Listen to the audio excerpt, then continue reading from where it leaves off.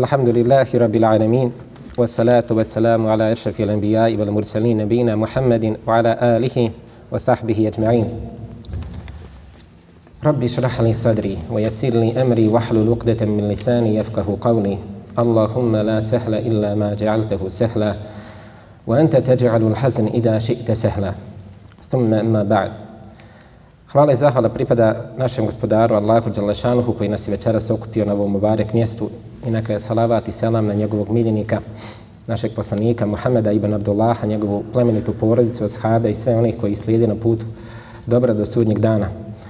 Da vas Allah Đalešanuhu nagradi na večerašnjem dolasku.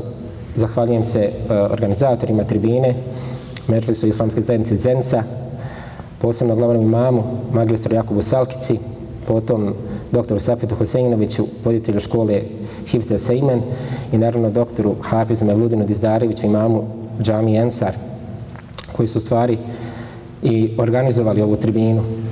Također moram se, ovaj, ovo je prva prilika nakon eto skoro godinu dana da se, da se zahvalim konačno i što su na moju hafisku dobu u moj rodni kraj Bosansku Dubicu, to nije šala, to je preko 500 km odavde, Maksu su došli glavni imam e, Meflisa Zenica i došlo je nekoliko hafiza iz Zenice, to su magistar Enes Beganović, Sead Šahinović i hafiz Ishak Efendić, koji su Maksus proputovali taj put da bi bili sa nama onaj dan i ja im se ovaj Maksus zahvaljujem i ume Međlisa, Bosanske, Međlisa Islamske Zenice Bosanska Dubica i u svoje lično ime. Večeras ćemo govoriti o jednoj posebnoj temi, meni lično najdražoj temi, jer sam se ja lično uvjerio koliko Kur'an i učenje Kur'ana može da promijeni čovjekov život, koliko Kur'an je knjiga, ona istinsko čudo, to je najveća muadžiza našeg poslanika Muhameda, sallallahu alaihi sallam, i stvarno to je knjiga čije učenje donosi i privlači u naš život i Allahovu milost i oprost i bereket i uspjeh. I onaj ko se udalji od Kur'ana ne mora da nikoga krivi za svoj život, za svoje poteškoće, za svoje probleme. Onaj, e, kad sam dolazio ovamo, na putu ovamo, sjetio sam se nečega, kao što Allah Žešano kaže, ja juhe ledine amenu skoro nijamet Allahi alaikum, ovi koji vjerujete, sjetite se Allahove blagodati, prisjećajte se Allahove blagodati prema vama. Ja sam na putu ovamo razmišljajući o večerašnjem događaju, prisjetio se u stvari da sam ja prije eto osam godina borili se doktori za život, a prije, još prije četiri godine nakon toga, dakle 12 godina prije ovoga, ja nisam znao ni harfa iz Kur'ana, nisam znao ni bismile, nisam znao ni šta je to. Jer ja sam, kao što kaže Hafiz Mevudin, odrastao u Bosanskoj Dubici, to je grad u manjem entitetu, koji je, dakle, ja sam i odrastao tamo i završio osnovnu i završio srednju školu. Dakle, sve, sve čitavo vrijeme, dakle, nije to bilo našeg naroda, sve vjerska infrastruktura, sva je porušena bila. Nisi imalo gdje ni naučiti, nije bilo kao danas interneta, nije bilo mogućnosti. Tako da sam ja do svoje 20 i neke, dakle, 21. godina mog života, to je bila prva godina kad sam ja ušao u džamiju. I to je bila neka, e, dakle, prijesudna godina mog života, 2004. davne već. I kad se sjeti čovjek toga, ja sam se toga sjećao na put, smanala, e, prije, eto, skoro je to, to je mali to period, 12 godina. I nakon toga smanala, nisi znao ništa. Bio si bolestan, i bio si siromah, i bio si slab, i bio si nemoćan, i nisi znao ništa, nisi znao za vjeru. Bio si negdje daleko, onaj, kakvi su ti moji planovi za život bili. I sad, evo, subhanallah, i onda se sjećam, evo, danas putuješ u Zencu, da nekome govoriš ti o Allahovoj vjeri, da ti govoriš nekome o Kur'anu. I ne može čovjek da ne osti smanala kolike su Allahove blagodati prema nama i kolika je Allahova, stvarno, koliko čovjek treba biti zahvalan Allahu Đalešanohu i na njegovom planu za naš život, ako je on sam svjestan u kojem smjeru ide. Jer u mom kraju, kao što kaže Hafiz Mevludin, nije u zadnjih stotinu godina bilo Hafiza. I ljudi nisu stvarno ne znali šta je hifs, ne znaju ljudi šta znači učiti Kur'an na pamet. Sad zamislite kada je bila hafizska dova, prilazi meni jedan čovjek poslije toga i kaže ovaj, um, ja, imam 60, ja imam 60 i nešto godina, ja nikad nisam čuo za ovo. Čitav život sam tu, a nisam nikad čuo za ovo. Što vi ovo veli radite, o čemu se ovdje radi? Nije znao za hifs i nije on jedan. Ovaj, I vjerujte kad, se, kad je Allah dao da, se, da taj se desi događaj, ne govorim lično iz moje perspektive, nego da je to bilo ono ljudi su se probudili, probudila se svijest kod naroda onaj, e, da ima to, da ima Kur'an, da se može učiti na pamet, da Kur'an mijenja život. Jer su e, građani Dubice i mještani, oni su upoznali mene, znali su moju čitavu familiju, znaju mene i znaju kakve sam ja halava i stanja prolazio. I onda su vidjeli u stvari da je Kur'an meni promijenio život, da je učenje Kur'ana i vjera promijenila meni život. I to je u stvari onaj, mnoge potaklo e, da i oni počnu više da uče Kur'an, da se više druže sa Kur'anom. E, ja ne mogu to dovoljno da naglasim, e, da je učenje Kur'ana najveća, najbolja investicija koju vi možete da uložite u svoj život. Učenje Kur'ana je investicija u vaš dunjaluk i u vaš ahiret. Učenje Kur'ana je blagoslav i bereket i to je stvarno nešto najljepše što možete doživjeti na ovome, na ovome svijetu. Prije četiri godine sam bio u Austriji u jednom džematu i otišli smo u posjetu jednom insanu u bolnicu tamo gore u Tirolu u gradu koji se zove Kuštajn. I meni taj događaj do dan danas ostao u sjećanju jer je taj čovjek ima sve ono na Dunjaluku što bismo mi željeli i što bismo mi voljeli. Taj čovjek ima novac, ima kuću, ima pare, ima porodicu, ima sve. Dakle, on na Dunjaluku ima sve ono o čemu mi maštamo. Ima, ima i austrijske papire. Međutim, dolazi penzija. I on, što kažu, završi u bolnici. I kad smo mi njega posjetili u bolnici, njemu su zbog dijabetesa i problema sa šećerom ocijekli bili nogu. I on je tada rekao jedne riječi koje ja danas pamtim. Kaže, ja sam čitav život, čitav život ja sam čekao penziju. Čekao sam da dodem u Bosnu, da odem u svoju vikendicu i da ja pecam ribe, jer ja volim ribe. I čitav život je on odgađao taj moment i sreće i povratka vjeri i čitav život je radio i gradio na Dunjaluku. I onda dolazi taj penzija i veli vidi me sada. Tamo kad sam dočekao taj moment onog svog sna, ja završim ovdje u bolnici i sad ne mogu ni sebi pomoći, niti mi može familija pomoći, niti može iko pomoći. I to te jednostavno takvi događaji čovjeka jednostavno prenu, trgnu ga iz onoga scenjarinja, jer Dunjaluk je, Dunjaluk baš opija. Kad sjednete danas sa ljudima i počnete pričati, to su uglavnom teme, nema se posla, nema se para, nemam dovoljno, nemam ne mogu naći negdje posao, išao bi vani, teško je stanje, da mi je kako pobjeći iz države. To su uglavnom teme, su uglavnom crne, negativne, depresivne i uglavnom su sve vezane za pare ili da im fali para. Međutim, pričajte s ljudima koji imaju pare. Oni se žale za neke druge stvari. Da nemaju vremena, da nemaju zdravlja i da više voljeli da su to vrijeme mogli da posvijete nekim drugim stvarima. I čovjek, baš ovako kad sretne ovakve ljude kao što je ovaj dedo iz Kufštajna, shvati u stvari da ne treba čekati čitav život sreću. Da ne treba ganjati čitav život nešto drugo. Da treba ulagati svoje vrijeme i svoj novac u ono što neće propasti kao što Dunjalog propada. Da uložiš svoje vrijeme i svoj trud i svoj novac na putu činjenja dobrih dijela. Jer dobra dijela, to je ono što ostaje trajno. To je ono što ti možeš ponijeti sa ovog svijeta. I to je jedino što možeš ponijeti sa ovoga svijeta. To je ono dobro koje su činio. Pare, imetak, e, porodica, žena, djeca, kuća, e, BMW X5, BMW X6, slično, novi, najnoviji mobiteli, sve će ih nagristi zid vremena. Vrijeme će ih sve pojesti i ne možeš ni jednog sa sobom ponijeti. Ništa. Jedino što sa tobom ide jesu dobra djela. Dobra djela. Pa je pametan onaj koji svoje vrijeme uloži u to. Koji čini dobro i zarađuje naravno i za dunjaluk, ali ne zaboravlja svoj ahiret. I najbolje, jedno od najbržih načina da steknete dobra djela, to je učenje Kur'ana. Jer kao što poslanik Saloselem kaže, ko provuči jedan harf, ima deset sevapa, deset dobrih dijela.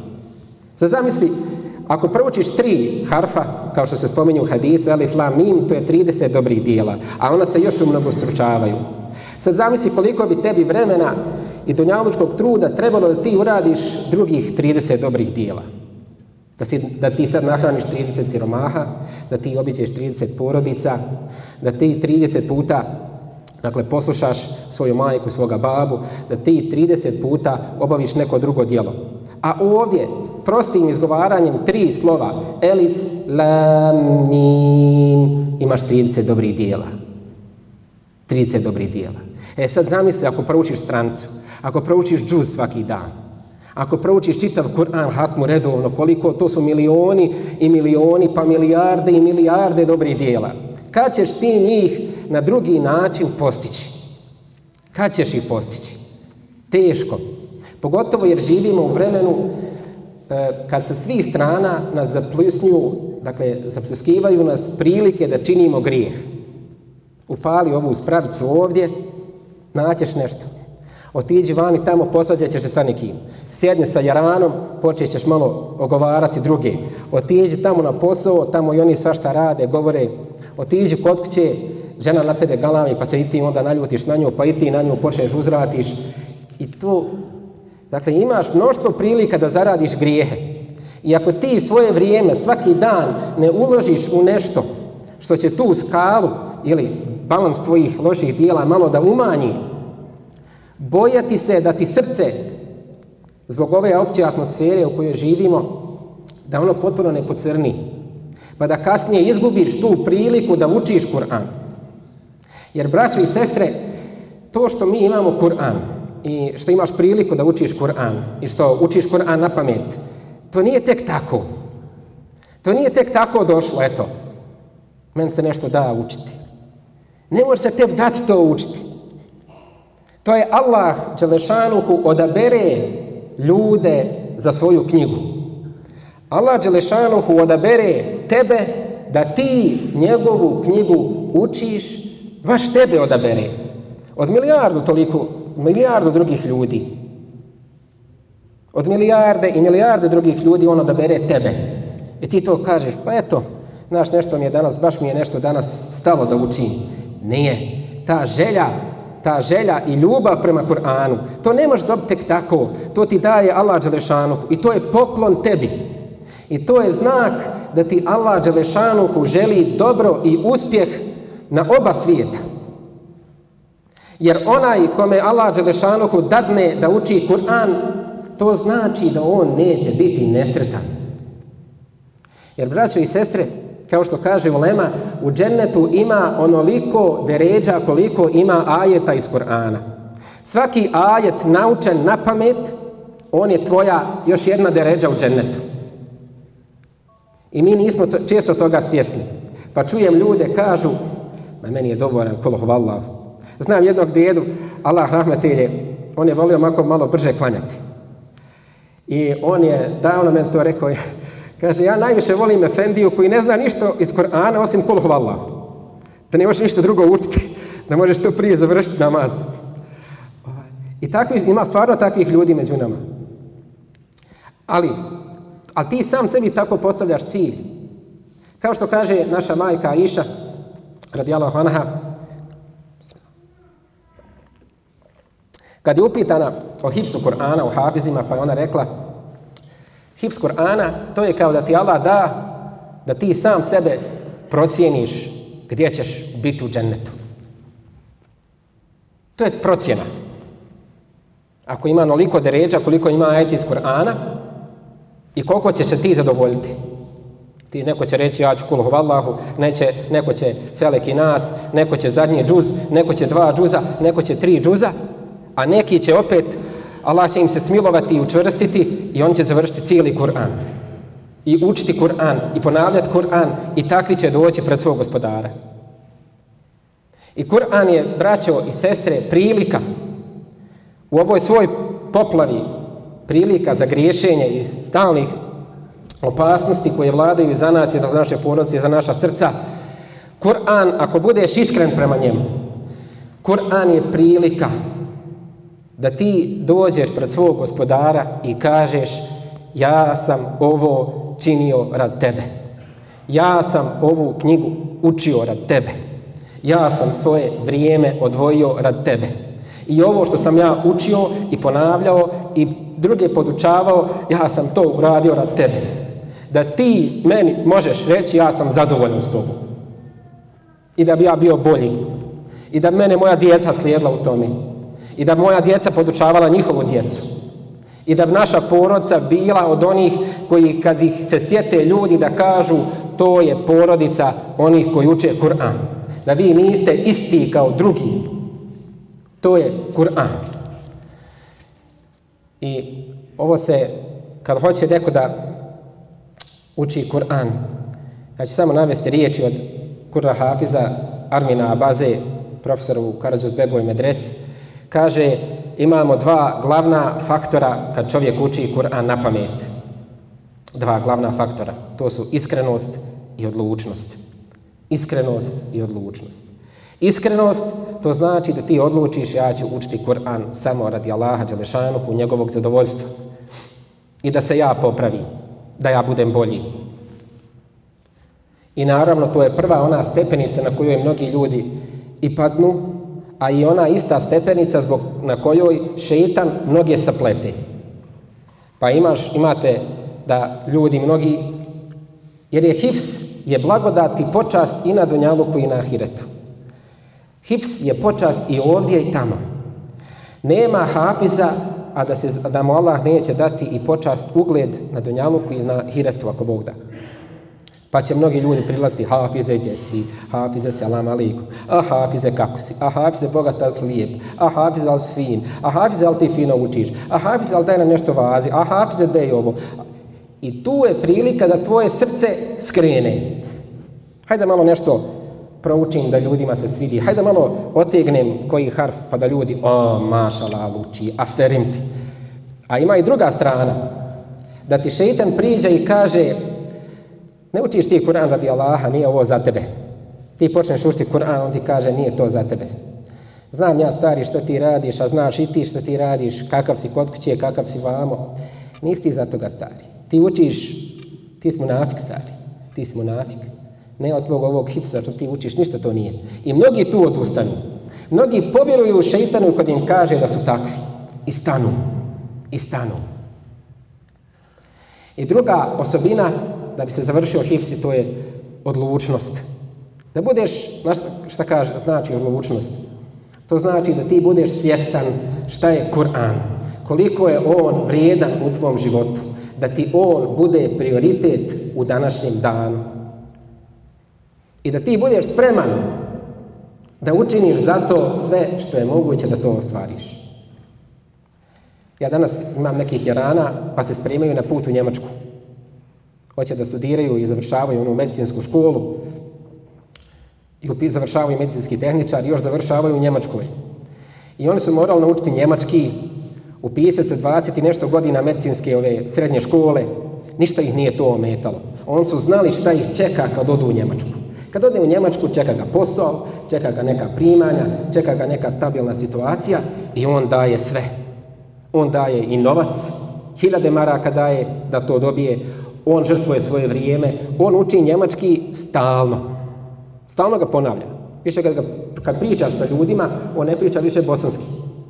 On samo odjednom progovori iz njega ono, vigec, kako si, šta ima? Iz njega progovori ono, jer on zna šta će dobiti kad ode tamo. E takav i ti moraš biti kad učiš Kur'an.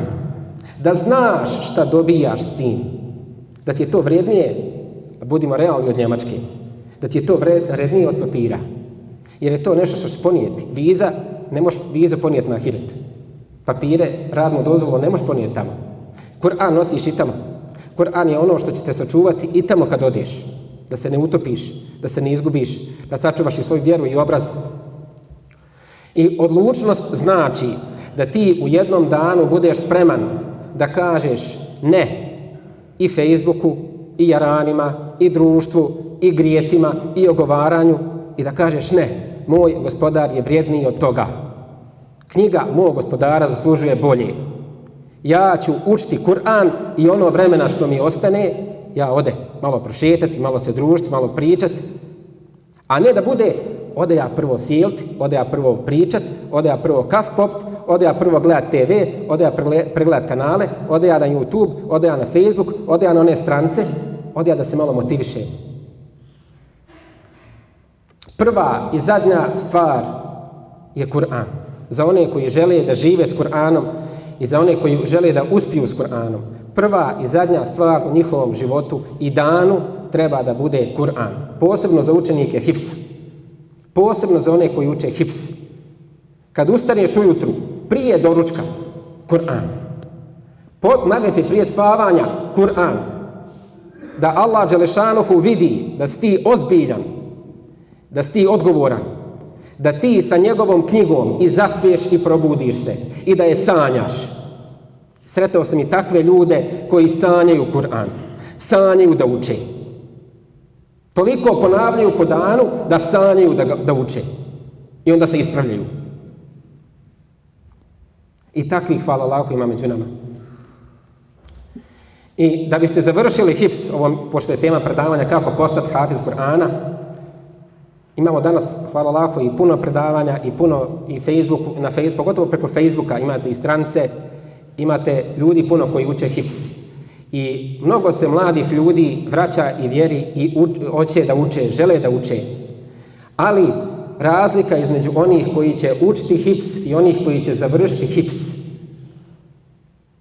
je u navikama. Motivacija, motivacija za hips, ona ti može pomoći da ti kreneš. Ona ti može povećati želju da učiš. Pa tako mladić vidi nekog hafiza da uči Kur'an ili vidi kako njegov brat ili sestra uče Kur'an i onda požele i oni da uče Kur'an. To je prvi korak ti poželiš to. Hoće li te ta želja dovesti do kraja? Neće, jer želja će ti opadati. I to svi oni koji su učili i uče znaju. Želja je prolazna, želja varira. Jedan moment imaš više volje za učiš, drugi, drugi dan imaš manje volje i tako dalje.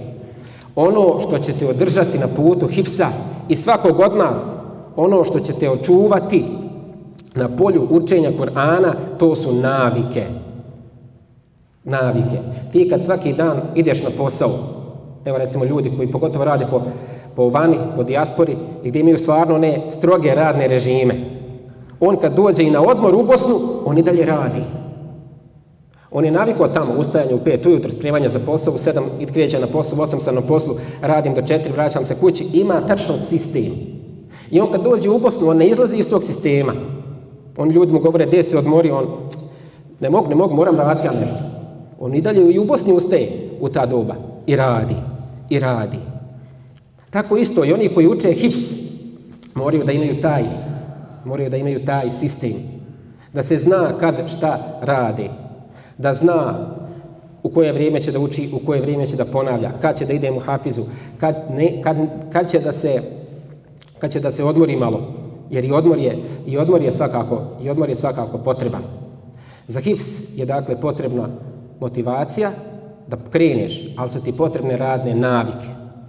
Da ti učiš i onda kad ti se ne da. Jer onaj kad ode na posao, jer misliš da on, evo ne da mi se ići na posao. Da on javi gazdi, eto, pa ne da mi se nešto. Nisam nešto plaho danas za posao, ovaj, eto, ja, javit se za par dana kad men bude. Imam momka juče, ovaj, u školi je Korana, sa Sarajevo i nije se, nije se pojavio čovjek tri mjeseca. Juče sam ga vidio na jednoj dženazi. I on prilazi, sela mali hafiz. Ja učim. Oma bolan insanu, javi se čovječe, ne znamo ni gdje si, ni šta si. Mislio sam, preselio si u, ovaj, otišao si vani, nemate nigdje. Pa ja imao ispite, imao semestar. Ne možeš tako, ne možeš tako, moraš se javiti, moraš se javiti muhafizima, moraš se javiti ovaj učiteljima. Ne može čitav svijet tebe čekat kad ćeš se ti odlučiti. Hoćete čekat onaj na poslu? Neće. Dobit ćeš otkaz. I onda ćeš razmišljati šta sam sebi to uradio. Šta sam sebi to uradio. Dakle, hips treba ti jaka navika. I to se razvija ustrajnim učenjem i ustrajnim druženjem s Koranom. Nema drugog puta. Nema, nema prečica. Hips je prilično jednostavan. To je meni rekao moj hafiz, ovaj muhafiz Dževad Hrvačić, da ga Allah nagradi. Kaže, on je ovako strog i voli zagalamiti. Ja moram reći, samo što me nije tukao. Dakle, sve je metode koristi osim, osim pruta. Ova, on je rekao, dođeš ovako kod njega i pita ti je ponavljao. Ti sad onako počneš ko momak. Nema toga.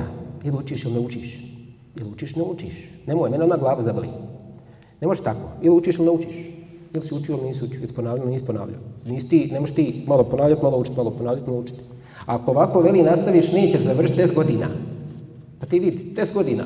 Planirat ćemo, mi ćemo polako, pa kad završiš. I onda te to otrijezni čovječe. Ovo je ozbiljna stvar. Kur'an je ozbiljna stvar. Kur'an je govor onoga koji je stvorio i mene, i tebe, i nebesa, i zemlju. I ti se sad sa tim poigravaš. Ono, ne u smislu da ti namjerno želiš, nego ono, mogu učiti, ne mogu učiti. Moram, mogu ponavljati, mogu ponavljati, ne mogu ponavljati. Pa eto, možda malo ovako, možda, možda kad poče od kraja, možda kad poče od početka, možda od sredine, čuo sam i te su dobre metode, možda tamo kad išao po krugovima. I onda ti ideš od učitelja do učitelja, do mohafiza do mohafiza, mijenjaš mohafiza za mohafiza. Ovaj, ne može tako. Što kaže Hafiz Hrvačić, završi za 10 godina tako. I Kur'an te nauči, Kur'an, kad smo govorili ovaj, o Kur'anu, to je stvarno odgoj. Učenje Kur'ana je odgoj i škola, velika škola, životna škola. Životna škola. Mi to shvatamo, eto, to je knjiga koju mi stavimo u peškir ili ona stoji kod nas na polici. Ne, subhanallah. Čovječe, tebi Allah dao, Allah ti je dao da njegov govor stoji u tvojoj kući. I da je to knjiga koja tebi osigurava uspjeh i na Dunjaluku i na Hiratu. A ti gledaš, prebacuješ kanale. Ti vrtiš Facebook. Ti gledaš nešto drugo, tebi je nešto drugo preče. A Allah te vidi. I Allah zna šta je u svakom našem srcu. I On zna da je tebi teško i mrsko učiti. I da je tebi draži i Facebook, i televizija, i grand show, i ovo i ono, i jaranicu ti draži, i telefon ti je draži, sve ti je draže od Kur'ana. I kaže ja učim, da svaki dan ponavljam. Allah zna šta ti je u srcu. Mene i sebe možemo slagati. Allaha ne može. I Allah svakom daje po zasluzi. Allah je pravedan. Allah je pravedan. I kad vidite, kad vidim kako neki mladići žive i kako uče Kur'an i koliko vremena uče Kur'an, ja se, vjerujete mi, ja se Allahu zahvalim. Kad vidim kakve omladine naša zemlja ima, kakvih mladih ljudi među nama ima. Ali Kur'an mijenja i stare. Jer pošto mnogi kažu kasne za mene, ja imam 50 godina, ne, imam ja i 60 godina, nisam nikad ništa pročitao u životu. Ovaj, za mene kasne za mene da ja naučim sufaru, kasne za mene da naučim ovo, kasne za mene. Samo se ispitaj. I podstane dane da ti kažu moraš naučiti njemački jezik da bi dobio penziju. Bil ga naučio.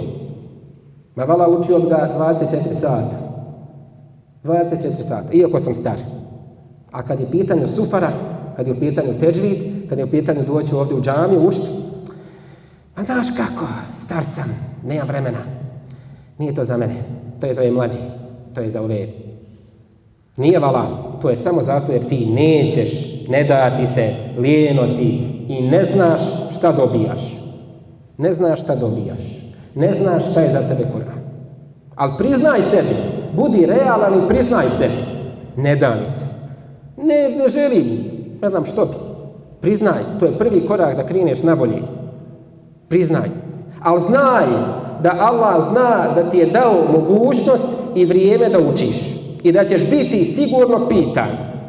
Ti kad dođeš pred Allaha Đelšanuhu nećeš moći reći pa eto, moj gospodaru, ja nisam ja mogao, ja sam bio star, ja sam bio slab.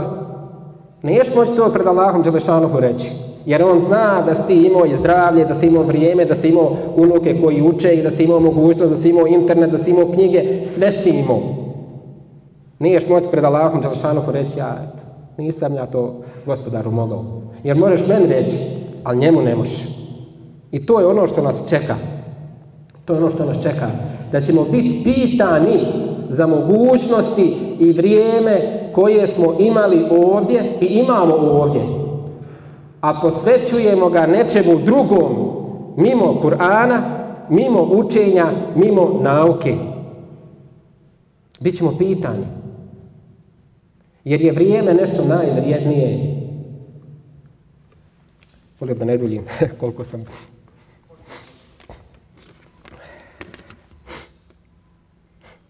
Ja bih samo spomenuo ovaj, ovdje neke uh, tajne uspjeha. Kako u stvari, šta je meni pomoglo kad sam učio HIFS? Prvo, meni je pomogla majčina dova. Da majka dovi za tebe. Jer ja sam odrastao ko jetim. Moja majka je bila meni, što kažu, sve. Ona je bila ta koja je svoj život posvetila meni i mom odgoju. I sve je žrtvovala. Ništa nije žalila. I dan danas ne žali. Ona i dan danas zove pita kako sine. Danas me zvala, evo. Ona malo pri, čuli smo se prije što sam stao, sjeo u autobus. Sine, ti to odi u Zencu? Eto, Allah te nagradio. Je se dobro obuko? Je se fino obuko? Je li ti toplo? Je li ti zima? Obuci se s nogu. Ovaj, majka to pita sred ljeta. Je li ti zima s nogu? Majka je dovela. Majka je dovela. I šta god sam ja u stvari i za zdravlje, i za uspjeh, i, za, i na fakultetu, i na hipsu. Majčina dova, to je oružje, to je, kako bi ja rekao, to je strijela koja pogađa cilj. Majčina dova, nju Allah Đelešanuhu prima. I majčino zadovoljstvo je jedan od najbržih puteva da ti zaradiš hips. Da postao hafiz ili hafiza, jedan od najbržih puteva je preko majke. I preko babe. Preko majke. Jer dešava se tako da učenik dođe mu hafizu i kaže on njemu, to priča poznati hafizu Haid Web, ja došao kod, kod učitelja Kur'ana da ja kažem ja bučio hips. Kaže on, kakav si sa majkom? Pa eto, on je bio nemusliman pa je primio islam. A majka bila malo ljuta što je on primio islam. Pa on rekao, pa eto nisam nešto dobar sa majkom. Pa je njemu rekao učitelj, nema fajde da ti učiš hips. Neće to biti. Hajde veli kući, pomir se sa majkom. Pomir se sa majkom. Budi dobar sa majkom, čini joj dobra. Nasmije, obraduje, nek bude zadovoljna sa tobom. I onda se vrati da učimo. I stvarno je to put. To je stvarno put. Jer hafiz, onaj koji uči, ko uči hips i ko se druži s Koranom, a svako se od nas druži s Koranom i svako je od nas u nekoj mjeri hafiz. Svako je od nas u nekoj mjeri hafiz. Nije hafiz samo koji nauči cijeli Koran. Imamo hafiza sure Ihlas, hafiz sure Felek, hafiz sure Nas, hafiz Amme Džuza. To si ti hafiz. Ti si hafiz tog dijela Kur'ana. I u njega ljudi gledaju. Aha, onaj mladić, ona djevojka, oni uče hips.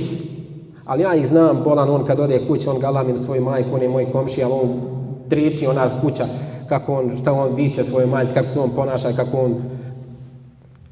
Ljudi to gledaju. I ljudi gledaju kako ti družiš s Kur'anom, a šta radiš vamo iza, šta radiš vani. I to ljude odbija, to ljude... Onaj, a istovremeno Allah Đeršanu te vidi. I to je jedan od najbržih puteva ovaj, da zaradiš Allahovo, Allahovu sržbu.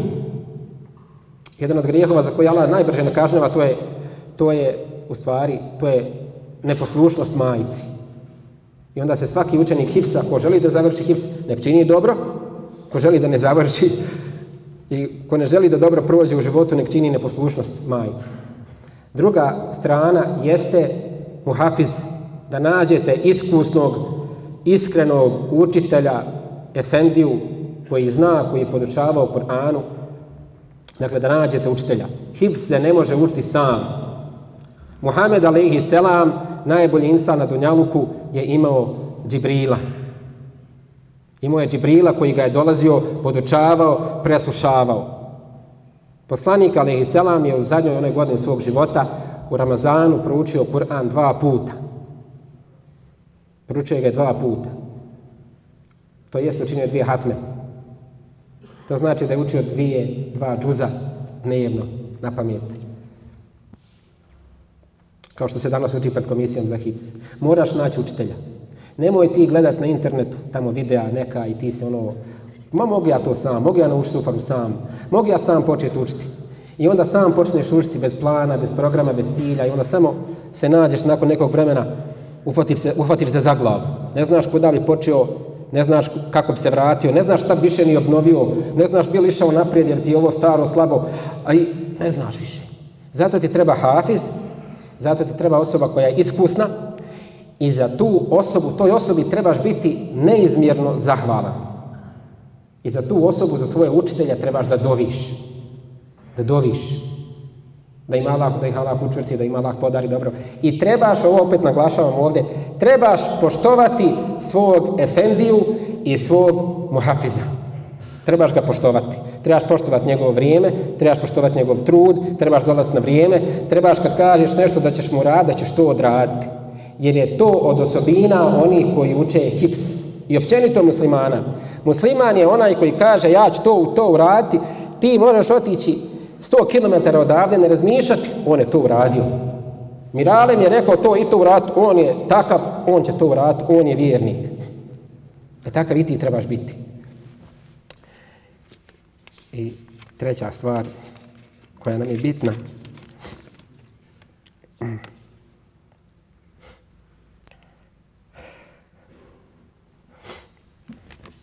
Podrška porodice, ovdje piše podrška porodice i u sklopu toga napraviti plan.